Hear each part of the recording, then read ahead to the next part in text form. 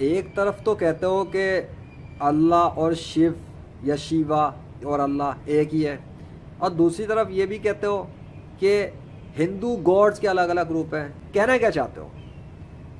कभी कभी गौर किया है? कहना क्या चाहते हो? या खुद ही कंफ्यूज हो? मैं एक इंसान हूँ, मेरे कितने रूप होंगे?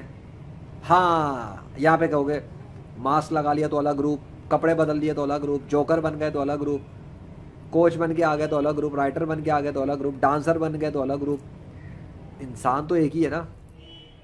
आइडेंटिटी तो वही है।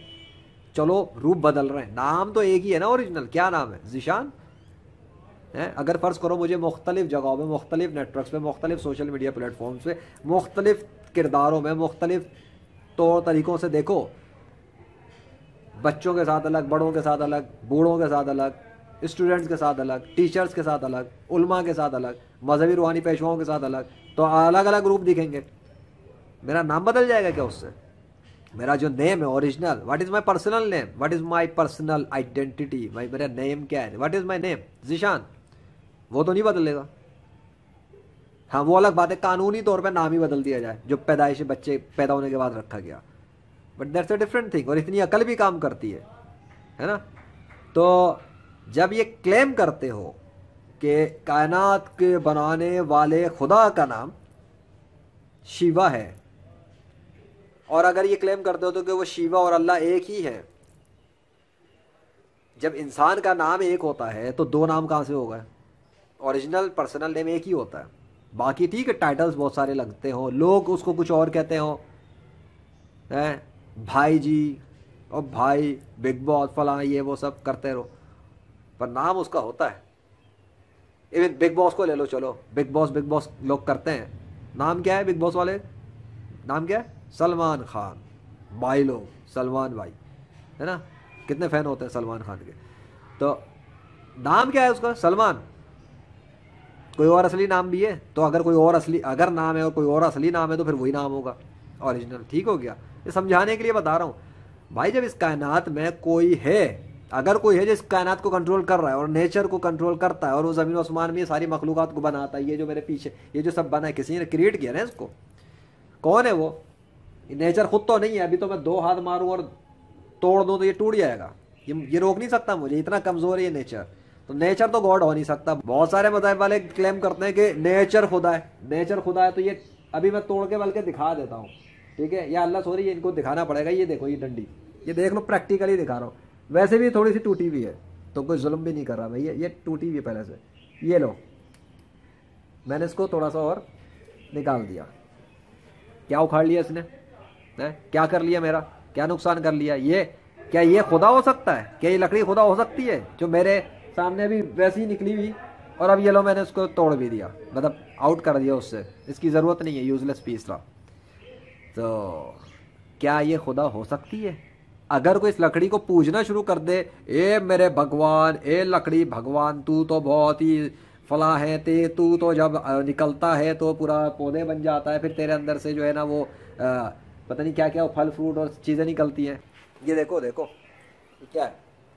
है ना ये? तो अब अगर कोई इस बुनियाद पे इसको खुदा मान के बैठ जाए कि लो जी इसके अंदर से तो ये सब बनता है तो इंसान को सर्व कर रहा है। तो कोई भी अकल इस्तेमाल करने वाला फ़ौरन मतलब ये मान ही नहीं सकता कि ये खुदा है। मतलब इसको तोड़ दो, मरोड़ दो, फेंक दो, जूते के नीचे रख के कुचल दो। अभी जूते के नीचे भी कुचल सकता हूँ मैं इसको रख के। देखिए, काटा है, इसमें चुप जाएगा, वो देखो। तो क्या इसको खुदा मान लो? क्या आप इसको खुदा मानोगे? आपकी अकल क्या कहती है? आपका कॉमन सेंस क्या कहता है? आपका माइंडसेट क्या कहता है? आपकी लॉजिक क्या कहती है? आप चाहे एवोल्यूशन को मानते हो, आप किसी को या खुदा को मानते हो, नहीं मानते वो सब छोड़ो। मैं तो मैं तो ये पूछ रहा हूँ कि इस लकड़ी को जो मेरे हाथ में है, इसको खुदा मानोगे? क्या इसने ज़मीन और आसमान बनाए हैं? क्या इस लकड़ी ने, इस लकड़ी के चुनने से पीसने सारी दुनिया के अंदर चरिंद परिंद दरिंद बनाए? क्या आपको माँ के पेट में जो आपकी सूरतें बना रहा था, वो ये लकड़ी का पीस था? अकल भी मानती है कि नहीं भाई, ये लकड़ी नहीं थी तो ये नेचर है। अगर ये नहीं कर सकती, नेचर नहीं कर सकती मतलब नेचर खुदा नहीं है। इट्स अ सिंपल थिंग कौन सी बड़ी साइंस की थुरियाँ उठानी है मुझे इसके लिए। साइंस और को किसकी? साइंस की बातें लिखता कौन है किताबों में? जो खुद को साइंसदान कहते हैं ना, वो भी इंसान है मेरी तरह के। तो मैं क्यों उनकी बात को मान लूँ अगर अगर नेचर उनके क्लेम को सपोर्ट ना करे? अगर कोई साइंसदान कहते हैं कि शिवा खुदा है तो मैं शिवा को खुदा मान जाऊँ। क्यों मान लूँ भाई? सबूत क्या है उसका? ये तो मुँह से जो वो कह रहा है, वो दावा है उसका। सबूत भी उसको देना पड़ेगा। सबूत कहाँ से लाएगा? सबूत तो नेचर से लाना पड़ेगा। क्यों? अगर शिवा खुदा है तो शिवा फिर अपनी खुदाई को साबित करे नेचर से शिवा को खुद साबित करनी पड़ेगी हाँ उसका पैरोकार दावे नहीं चलेंगे ऐसे अगर लेजेंड यानी कि मैं ये दावे करता हूँ कि अल्लाह इस कायनात का खुदा है तो मैं मुँह के फायर और मुँह के दावे नहीं करता वाकई में अल्लाह इस कायनात का खुदा है जिसने नेचर से खुद को साबित किया है कि वही खुदा है क्योंकि वो अपने नाम को लिख के दिखा चुका अपने नाम को बुलवा के दिखा चुका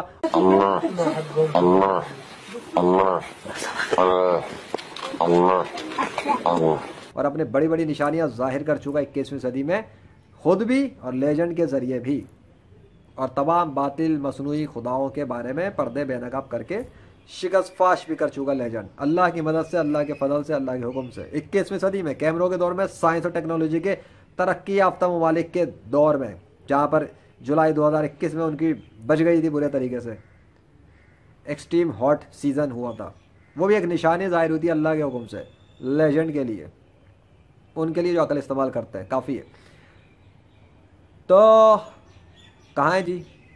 शिवा, किधर है? राम, कृष्ण किधर है? विष्णु किधर है? हनुमान किधर है? यसु मसीह किधर है? यावे किधर है? ज्यूस किधर है? थौर। कहाँ ये सारे? अगर वो हैं, इतने प्यारे, और अगर हैं वो इस कायनात के बनाने वाले तो आए एक इंसान को शिकस्त दे के दिखाएँ। Legend of Allah by the mercy of Allah in the twenty first century वो तो शिकस्त नहीं दे सके, बल्कि खुद शिकस्त खा गए सब। मुकाबले भी नहीं आ सके। अल्लाह ही आया और अपने नाम को लिख कर दिखाया और अपनी ताकत को मनवा के दिखाया और सबको बेनकाब करा के दिखाया और करके दिखाया, ताकि वो जो अकल इस्तेमाल कर सकें, वो मान लें दाल में कुछ तो काला है जो उनकी कहानियों में सुनाने वाला है। उनको उनका मजहबी रूहानी जादुई साइंटिफिक पेशवा, जो उल्लू बनाने वाला है। उसको पकड़ सके, उससे पूछ सके कि तू जो हमें सुनाता था, ये कहानियाँ किताबों में, बातों में, दावों में, सबूत किधर है तेरे बताए हुए खुदा का? अगर माँ बाप का टेस्ट किया जा सकता है कि असली है, नकली है, डीएनए के ज़रिए अरे तो फिर जो कितने सारे खुदा हैं बनाए हुए, उनमें भी तो टेस्ट किया जा सकता है कि असली कौन है नेचर के ज़रिए। खोपड़ी में कोई बात समझ में आ रही नहीं आ रही मेरी? क्या मतलब? नहीं समझ में आ रही? थोड़े से अकल इस्तेमाल करने की ज़रूरत है यहाँ। अकल इस्तेमाल करने वाला पकड़ लेगा, समझ लेगा, और छोड़ देगा बस उन्हीं खुदाओं की पूजा करना, और मान लेगा, एक ही खुदा अल्लाह इस कायनात का। क्योंकि इख्तियार तो उसने दिखाया, प्रैक्टिकल तो उसने दिखाया। और धज्जियाँ बिखेर के रख दी, तमाम एथिस्ट के दावों की। धज्जियाँ बिखेर दी साइंसी साइंसी कवानीन की। धज्जियाँ बिखेर दी मसनू खुदाओं की। वो एक अकेला अल्लाह वाहिदल कहार वरबला ला मोहम्मद रसूलुल्लाह सल्लल्लाहु अलैहि वसल्लम। कहाँ है बड़े बड़ी मजहबी रूहानी साइंसी और जादुई पेशवा दुनिया भर के तमाम गैर मुस्लिमों के अंदर जो आए और टक्कर दे लेजेंड को। पब्लिक के सामने मीडिया के सामने, आलमी लगा लो रिलीजियस वर्ल्ड कप और गॉड्स के हवाले से फैसला करने के लिए आ जाए सब बगैर किताबों के, बंद करके रख दें सारी किताबें अपनी। और आ जाए मुकाबले पे। करके दिखा दे साबित मारेकल्स के थ्रो नेचर के थ्रो सिर्फ़। कि वो जिसको कह रहे हैं कि खुदा, वो खुदा है। और उनका कंट्रोल वो साबित करके दिखाएँ, उसी की मदद से। उनके दावे नहीं चलेंगे। उनका खुदा खुद साबित करेगा नेचर के ज़रिए। लाए सबूत वो। सबूत और गवाह नेचर के साथ लेजेंड भी सबूत और गवाह के साथ है। ऐसे नहीं आया। अल्लाह के फजल से आया।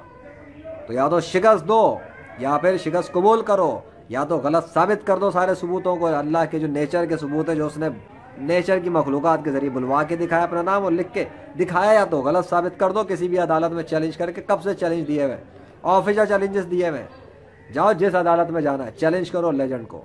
लेजेंड को नहीं लेजेंड के तमाम सबूतों को भी चैलेंज करो। वो तो अल्लाह के अल्लाह के सबूत है, अल्लाह ने बनवाए। दुनिया भर के पता नहीं कितने इंसान हो गए दिखाई है, उसने अपनी निशानियाँ, उन्होंने डाले हैं यूट्यूब पर। बहुत से कहते हैं फेक है तो साबित करो फेक उसको।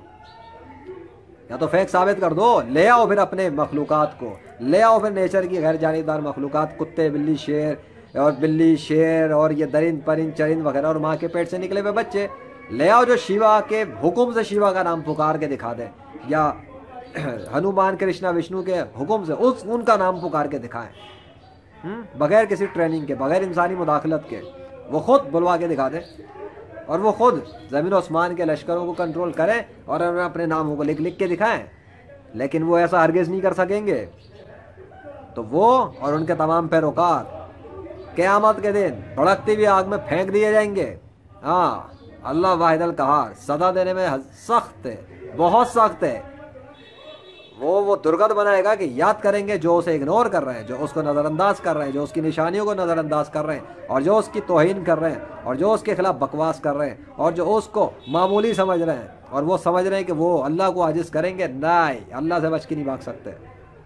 क्लियर कट सच बता रहे लेजर अल्लाह के फजल से। अल्लाह के सिवा जिस, जिसको पूछना है, पूछ लो। कुफर पे मर गए अगर, और इस्लाम कबूल ना किया तो ये सुनने के बाद और जो लेजेंड के सबूत मौजूद है इस चैनल पर, मोहम्मद शान अरशद, इस चैनल पर जितने सबूत हैं और जो कुछ अल्लाह ने निशानियाँ ज़मीन आसमान के दरमियान ज़ाहिर की हैं, उसके बाद अगर नहीं कबूल किया तो फिर ये शिकवे शिकायत नहीं बचेंगी एक्सक्यूज ख़त्म, कि अल्लाह ने किसी को भेजा नहीं था और किसी ने बताया नहीं था। हाँ ख़त्म। तो सोचना और अकल इस्तेमाल करना टेक केयर